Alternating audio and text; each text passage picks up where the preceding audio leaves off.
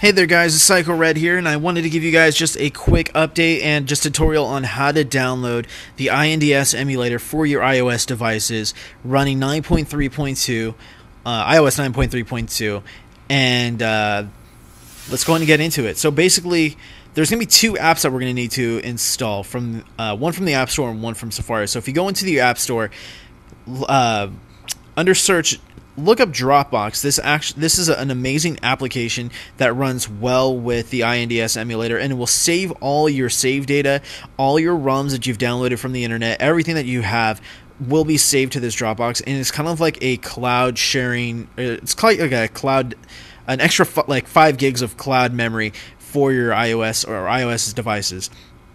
And uh, it's just it's an amazing app. So if you do um, have the chance, go ahead and download that because that works very well with this emulator. Second, we're going to go under Safari, and I personally did a check for just for INDS, and the very first site was iEmulators that I came to.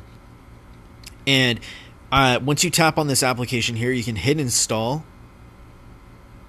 and we'll hit install INDS, and the prompt 2 will come up We'll hit install and we'll back out. We don't need to do any sort of like date or time tricks or anything like that.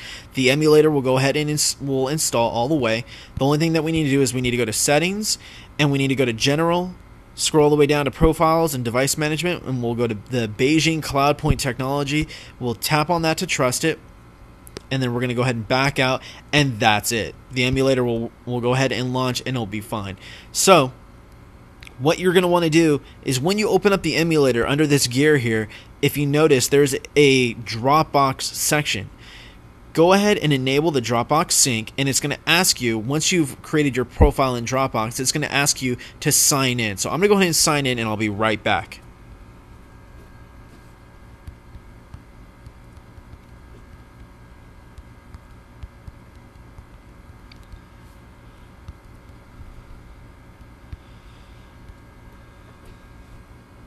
Awesome. So once you've uh, once you've logged in to your Dropbox account, it's automatically going to sync anything from your Dropbox into your uh, into the INDS emulator.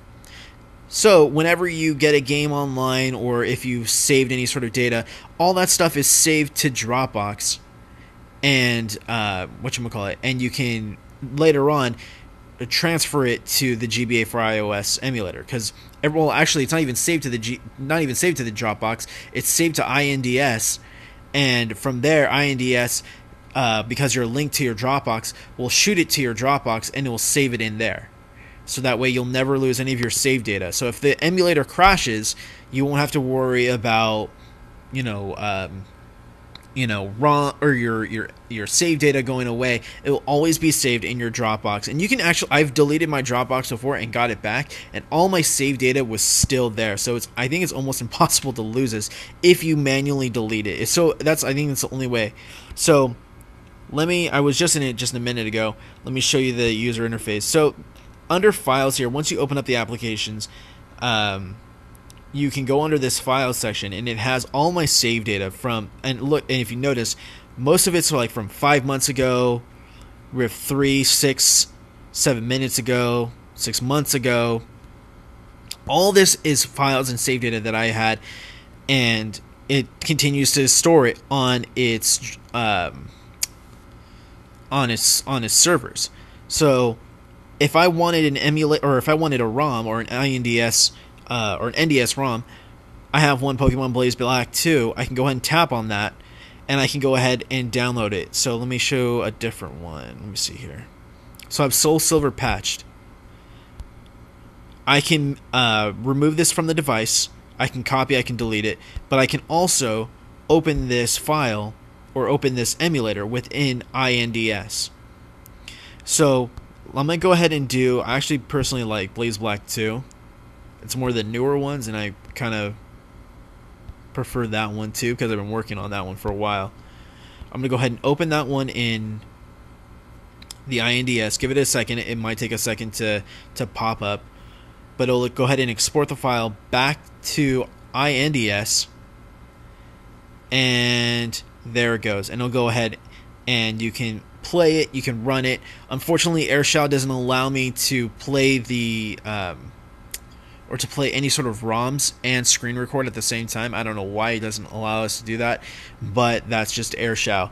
I run into the same problem with GBA for iOS. So, anyways, there you have it. There you have your your game. You can also search. They have a search bar here, so if you do have a certain site that you get your ROMs from, and you have the actual game, you can get your ROMs from that site, and you can uh, like it'll automatically bring you to a Google search page where it'll ask you, you know, which site do you want to go to, and you can choose from your your choosing. But once you have that that game saved, or and you have it on the INDS and it's synced to the Dropbox, you'll never lose it again. You'll never have a save data that's like just that's been wiped. You can always resume back from your game and that's just the beauty of INDS. I, I honestly love this application a little bit more than GBA for iOS because there's just a couple newer games out on this. But the fact that it's just so user friendly and so easy to use, uh, and it's it it doesn't crash like every other day. Uh, it's just an uh, it's an emulator, an application that I keep on my phone, uh, and I never get rid of. So that's my uh, tutorial on how to get INDS on your iOS devices running 9.3.2. Uh, if you guys do have any problems or do have any issues or want to know how I did the whole Dropbox thing, please comment below. Uh, give this um, this video a thumbs up.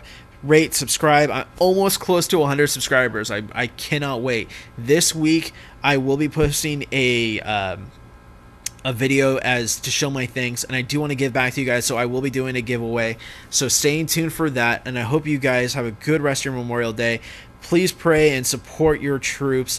Uh, they do so much just so we can have the liberties that we have every single day. So please go and support your troops and uh, and definitely pray for those guys because they have it so hard. Uh, my brother-in-law is actually a part of the military and just I, I couldn't be more proud of him and the people that serve and protect our country. So I hope you guys have a good Memorial Day and a good rest of your weekend. Peace.